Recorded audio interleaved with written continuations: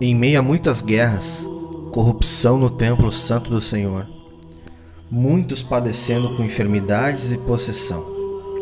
Em uma época em que muitos já tinham perdido a sua fé, uma virgem dá à luz a um menino, o Cordeiro de Deus, que tira o pecado do mundo.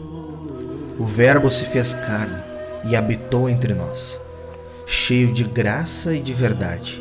Sim, ele é o Filho de Deus. Foi obediente em tudo, fez discípulos, curou os enfermos, expulsou os demônios, ressuscitou os mortos, fez muitas maravilhas, amou, perdoou e se entregou por nós. Foi como um cordeiro mudo ao matador, e lá se entregou como sacrifício. A cruz banhada de sangue era o altar do holocausto perfeito. Ali foi morto o rei. Morreu como um cordeiro, mas ao terceiro dia ele ressuscitou como leão. Após 40 dias ensinando seus discípulos, ele deu uma ordem: Ide por todo o mundo e pregai o evangelho a toda criatura. Curem os enfermos, expulsem os demônios, batizem, façam discípulos. Então saíram imediatamente os 120 obedecendo a ordenança. Sete dias depois, estavam todos reunidos no mesmo lugar. De repente, veio um som como se fosse um vento veemente e impetuoso e enche toda a casa em que estavam assentados. De repente foram vistas por eles línguas repartidas como que de fogo. Sobre cada um deles, ali se cumpriu a promessa. Eles foram cheios do poder do Espírito Santo. Cada vez mais eles se aplicavam a proclamar a boa notícia que faz o inferno tremer. A perseguição aumenta e eles fazem uma oração simples, porém que fez o chão tremer. Agora, pois, ó Senhor, olha para as suas ameaças e concede aos teus servos que falem com toda a ousadia a tua palavra, enquanto estendes a mão para curar e para que se façam sinais e prodígios pelo nome do teu santo filho Jesus. As portas do inferno não podem prevalecer contra a igreja de Deus. O corpo vivo avança, cresce, multiplica, perseguidor se torna perseguido, incrédulo se torna crente, pecadores são salvos e o reino dos céus avança.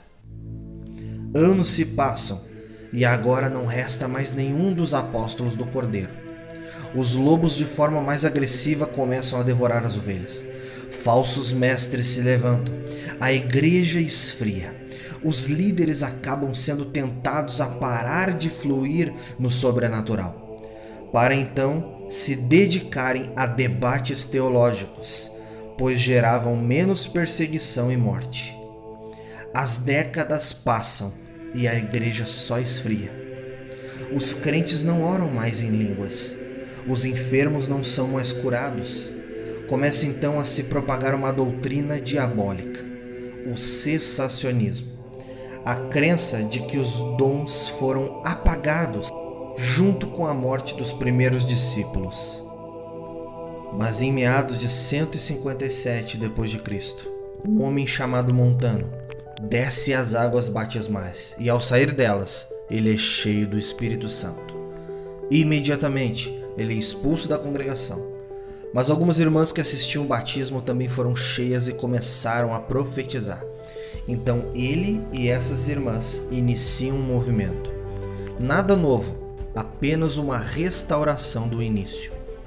Começam a fluir nos dons, discipular e ao mesmo tempo serem muito perseguidos. Dessa vez não somente pelo paganismo, mas pela própria igreja. Mas ao mesmo tempo que irmãos eram perseguidos por crer no evangelho verdadeiro, a obra avança e o movimento se estende até o século IX. Idade das Trevas. O sistema papal domina várias nações. As doutrinas que contradizem o texto bíblico só crescem. Satanás pareceu ter vencido, até que à luz de velas, um monge lê no livro de Romanos que o justo viverá pela fé. Sim, como alguns estudiosos acreditam, estava ali o cisne que o sistema romano não podia queimar, segundo a profecia de John Huss, 100 anos antes. Martinho Lutero. Autoridade no grego, homem convicto do que a Bíblia diz, enfrentou o sistema papal e traduziu a Bíblia para o alemão para que o povo carente pudesse ter acesso às escrituras sagradas. Os anos passam e outros homens são levantados para anunciar a verdade. Vários deles são mortos, mas a fagulha da reforma ainda estava acesa. Tudo que o Espírito Santo precisava era de uma centelha e corações disponíveis. Jonathan Edwards, John Wesley, Charles Finney, Charles Spurgeon, John Alexander Dowie, Dale Moody, Evan Roberts, William Seymour e muitos outros homens levantados por Deus, verdadeiros heróis da fé, anunciaram a graça salvadora, defendendo a verdade com toda a sua força, e assim Cristo era glorificado.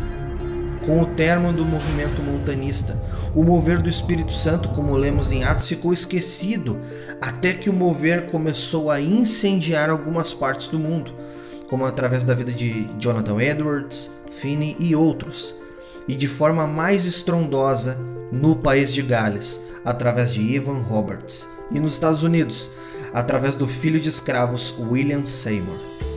Os anos foram passando e Deus foi aumentando a temperatura do mover, ao mesmo tempo que espalhava pelo mundo através de verdadeiros discípulos de Jesus.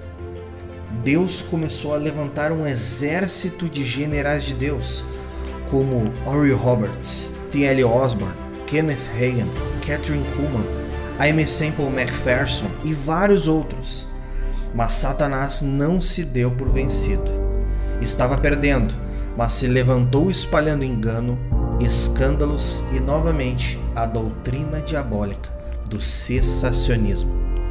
Em muitas partes do mundo, os milagres se tornaram raros e muitos lugares se tornaram frios e religiosos, cheios de doutrinas e costumes humanos que para muitos tinha mais valor do que a palavra de Deus. Mas o Senhor dos Exércitos não deixou de operar e não deixou de levantar os seus atalaias. Homens que obedeceram a Deus e foram revestidos de poder, como os primeiros irmãos lá do início. O período em que a igreja mais cresceu e se fortaleceu foi durante guerras, crises e pestes mundiais. O nosso Deus não sabe perder batalhas.